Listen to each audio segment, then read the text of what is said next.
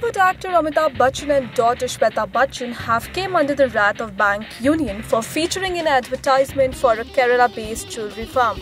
They have called the ad disgusting and derogatory, which is aimed at portraying negative character of bank employees and creating distrust in the banking system.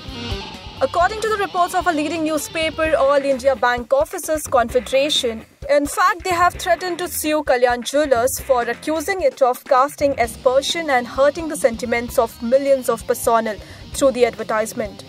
Yesterday, Big B had tweeted the video. While posting the ad, he wrote, Emotional moment for me.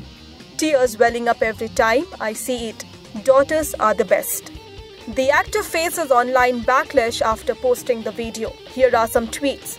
One of the users wrote, Shame on you for portraying bad image of bankers in the ad.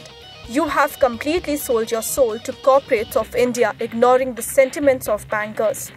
Another user resentfully wrote, He has already sold his soul. This is not the first time when Amitabh Bachchan faced the wrath of the people. Few days back, he was slammed for endorsing Horlicks because the product is a high-end sugar product.